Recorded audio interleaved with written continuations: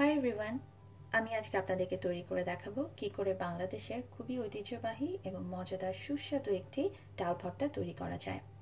ডাল ভর্তা আমরা কম বেশি সবাই তৈরি করতে পারি এবং খাইনি এমন বোধহয় কাউকে খুঁজে পাওয়া যাবে না।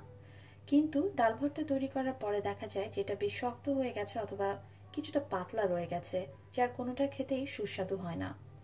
এই রেসিপিটা যদি আপনারা ফলো করেন এবং এখানে যে টিপসটা আমি দেবো সেটা মনে রাখেন, তাহলে আপনাদের ডাল ভর্তা খেতে আর কখনোই খারাপ হবে না।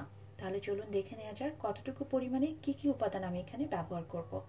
আমি এখানে নিয়ে নিয়েছি মসুরের ডাল, ইংরেজিতে যেটাকে বলা হয় রেড ল্যান্টিল এক কাপের চার ভাগের এক ভাগ পরিমাণ।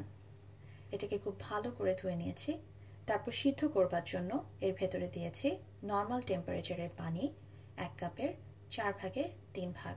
অর্থাৎ আপনি যতটুকু ডাল নেবেন, তার তিন গুণ পরিমাণের পানিতে এটাকে সিদ্ধ করবেন। বড় একটা রসুনের চারটা কোয়া নিয়েছি। এটাকে আমি হালকা টেলে নেব শেষে। এবং অবশ্যই এই টেলে নেওয়ার জন্য আমি সরিষার তেল ব্যবহার করব। এখানে আছে রেড চিলি ফ্লেক্স, এক চা চামচ পরিমাণের। আপনারা চাইলে আস্ত শুকনা মরিচও দুইটা, তিনটা বা আপনারা যতটুকু চান সেটাও হালকা তেলে টেলে নিতে পারেন। আর এখানে পেঁয়াজ কুচি আছে, বেশ পাতলা করে কাটা একটা মিডিয়াম সাইজের পেঁয়াজকে। আমি এই মরিচ আর এই পেঁয়াজটাকেও ভালো মতো ভেজে নেব শেষে। তাহলে চলুন আপনাদেরকে দেখাই কীভাবে ডালটা সিদ্ধ করতে হবে। আমি ডালটাকে ঢেকে দিয়েছি পানি সহ এবং এটা হাই হিটে দেওয়া একবার যখন এটা প্রায় ফুটে আসবে, এমন পর্যায়ে চলে আসবে, তখন আমি জালটাকে একেবারে লো করে দেব, মিডিয়ামের থেকে লো করে এটাকে আমি সিদ্ধ করব প্রায় পাঁচ ছয় মিনিটের জন্য। ফুটে আসবে এই পর্যায়ে, তখন আমি জালটাকে একদম লো করে দেব। সেটা হচ্ছে এই ধরনের। দেখবেন যে চারপাশে একটু ফ্যানা হয়ে গেছে আমি জালটাকে একেবারে কমিয়ে দিয়েছি, মিডিয়ামের থেকেও বেশ কম, এক চিমটি, দুই চিমটির মতো লবণ দেওয়া ছিল এর ভেতরে। তো এটাকে আমি ছয় মিনিট, পাঁচ মিনিট পর ফিরে আসছি। ছয় মিনিট পরে এটাকে একদমই না ঢেকে এভাবে পানিটাকে শুকাতে দিব। হালকা জালে মিডিয়াম আছে। আমি তেলটাকে একটু গরম হওয়ার পরে এই রসুনগুলো দিয়ে দিচ্ছি। তেল প্রায় এক টেবিল চামচ মতো।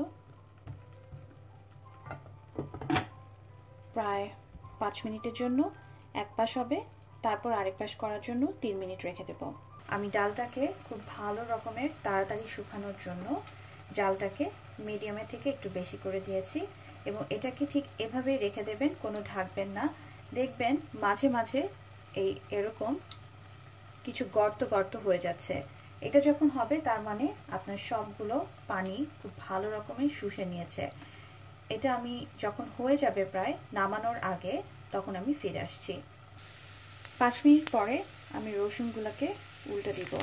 এভাবে আমি এটাকে ঢেকে আরও তিন মিনিট মিডিয়ামের থেকে একটু কম আছে রেখে দেব। পোড়া পোড়া হওয়ার জন্য এবং নরম হওয়ার জন্য। আর এদিকে আমার ডালটা হয়ে গেছে। দেখেন, মাঝে এরকম গর্ত হয়ে গেছে। এটাকে আমি একবার শুধু এভাবে নেড়ে এটাকে আমি একটা পাত্রে বা প্লেটে যেটা আপনি মাখাবেন সেটাই তুলে নিয়ে ঠান্ডা হতে দেবো। আমার রসুন পোড়া হয়ে গেছে। এখন রসুন পোড়াগুলোকে আমি একটা প্লেটে বা পাত্রে তুলে রেখে এর ভেতরে আমি দিয়ে দেব। আর একটু সামান্য পরিমাণে প্রায় দুই চা চামচ পরিমাণে সরিষার তেল দিয়ে পেঁয়াজ এবং মরিচগুলো। আমি আঁচটাকে মিডিয়াম রেখেছি রেখে দিব। এটা প্রায় পাঁচ মিনিট বা চার মিনিটের মধ্যে হয়ে যাবে, তারপর আমি ফিরে আসছি। আমি এটাকে এখন প্লেটে তুলে নেব। এটা কিছু আমি এর ভেতরে সামান্য আর একটু সরিষার তেল আর লবণ দিয়ে নিয়েছি, কারণ আমি তখন শুধু সিদ্ধ করার জন্য কয়েক চিমটি লবণ দিয়েছিলাম। পেঁয়াজ আর মরিচ ভাজাটাও ঠান্ডা হয়ে গেছে। রসুনগুলোও ঠান্ডা আছে। এটাকে খুব ভালো করে স্ম্যাশ করতে হবে, যেন আপনার সবগুলো মিশ্রণের সাথে এটা ভালো করে মিশে যায়। সবগুলো উপকরণকে খুব ভালো করে মিশিয়ে নিব। আর ভরটা কিন্তু হাত দিয়ে মেশানো ছাড়া কখনোই ভালো লাগবে না খেতে। আপনারা চাইলে এর ভেতরে ধনে পাতা দিতে পারেন। হয়ে গেল ডাল ভর্তা।